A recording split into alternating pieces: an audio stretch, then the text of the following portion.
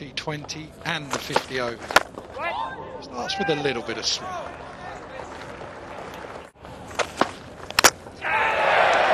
Bowled him. Went for the big drive through the offside. All he could do in the end was play it onto the stumps. Well, it doesn't take a three-card trick from uh, Chris Woakes. Weight is back. Ball clatters in the leg stump via the inside edge. Another wicket for Woakes in the power play. Ah! Close, maybe just swinging just a fraction too much.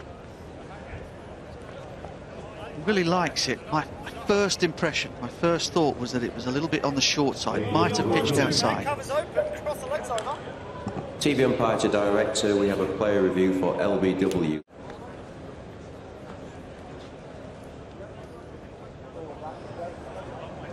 Okay, we're going to need to check Ultra Edge when available, thank you. Ultra Edge coming through now, flat lines, it passes the bat, flat line. There's no bat involved, we'll go to ball tracking when ready, please. Michael, you need to overturn your decision, you're on camera now. That second test. If there's no bat on that, he's in a bit of trouble. Literally got him in his sights, hasn't he, with that LBW. Gonna have a look. Dave, you can save your original decision, you're on camera now.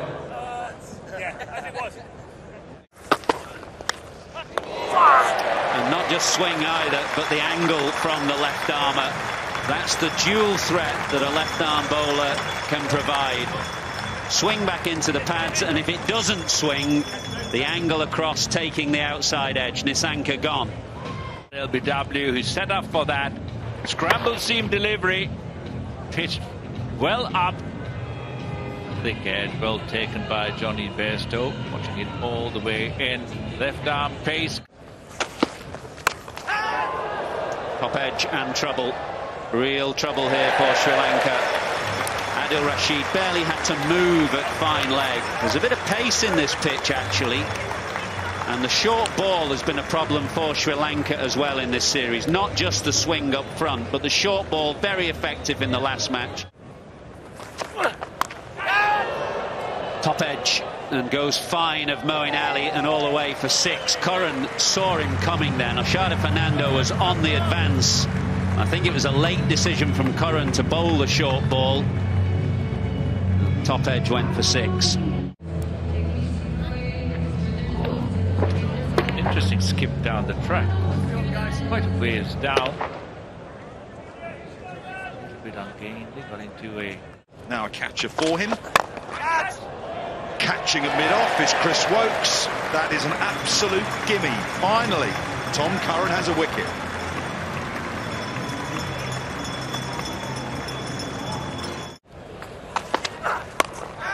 Top edge. Willey. Out. Six down.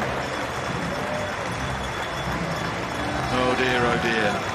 The short ball did for a few of the Sri Lankan batsmen in the previous game at the Oval. That has followed them down to Bristol.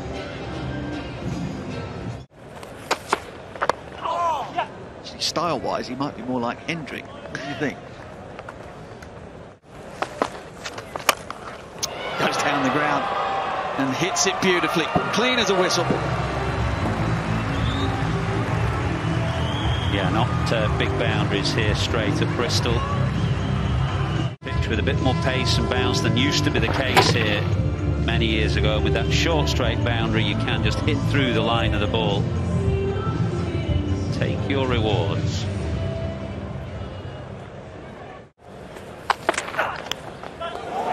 Edge, good catch. Diving to his right. Would have seen the batsman looking leg side, but that is an excellent catch from Jonny Bairstow.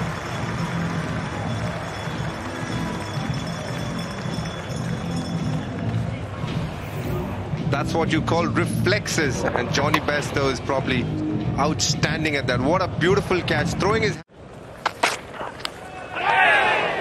Edge and another one gone.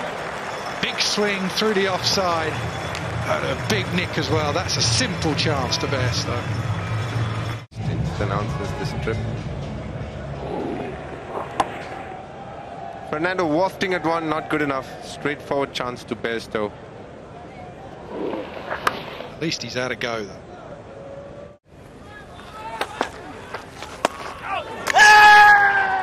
Bairstow likes it, and this goes upstairs immediately from Michael Gough. The reaction from Jonny Bairstow was very confident. TV umpire to director, we have an umpire review for stumping.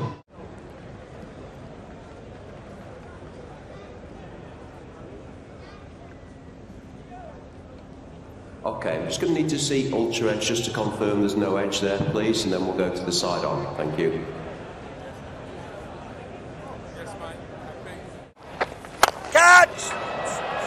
This is a big hit down the ground, over long on, over Willey's head for six. That's a great shot, being able to pull off that front foot. It's quick, it's flat, it's short. Further back, you lose a bit of time. Just that front foot going forward. A great stable base. It's a strong man, not a huge step deep into the crease.